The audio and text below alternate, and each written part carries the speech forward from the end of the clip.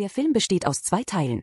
Teil 1, grundlegende Informationen über das Tier. Teil 2, Geräusche des Tieres. Sie können die Geräusche so verwenden, wie Sie wollen, wo Sie wollen, wie Sie wollen. Völlig kostenlos. Der gemeine Stechmücke, auch bekannt als brummende Mücke, ist ein Insekt aus der Ordnung der Zweiflügler und gehört zur Familie der Stechmücken. Dieses Insekt ist wegen seines Stechverhaltens beim Menschen sehr unbeliebt.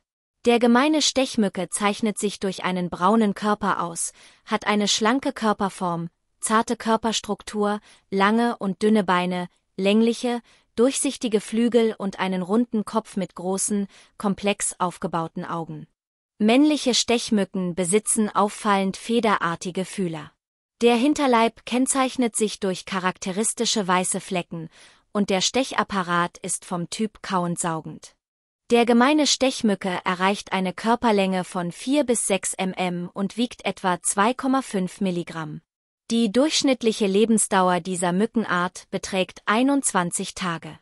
Ihr schlanker Körper ermöglicht es ihnen, sich fast unbemerkt zu bewegen, während ihre langen Beine und der spezialisierte Stechapparat für die Blutaufnahme bei Wirbeltieren, vor allem bei Säugetieren und Vögeln, optimiert sind. Die braune Färbung hilft ihnen, in ihrer natürlichen Umgebung unauffällig zu bleiben. Weibliche gemeine Stechmücken ernähren sich von Blut verschiedener Wirbeltiere, hauptsächlich Säugetieren und Vögeln, um Eier zu produzieren. Männliche Stechmücken hingegen ernähren sich ausschließlich von Nektar, Pollen und anderen pflanzlichen Stoffen. Diese Ernährungsweise platziert sie in einer spezifischen Position innerhalb der Nahrungskette, wo sie einerseits als Bestäuber agieren und andererseits als Beute für verschiedene Tiere dienen.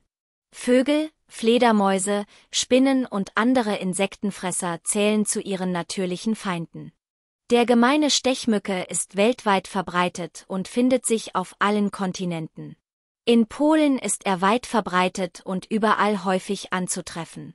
Er bevorzugt die Nähe des Menschen, was bedeutet, dass er sowohl in ländlichen als auch in städtischen Gebieten zu finden ist. Sein Vorkommen ist nicht auf einen spezifischen Lebensraum beschränkt, vielmehr ist er in feuchten Gebieten wie Sümpfen und Teichen sowie in der Nähe von Wasseransammlungen aller Art besonders häufig anzutreffen.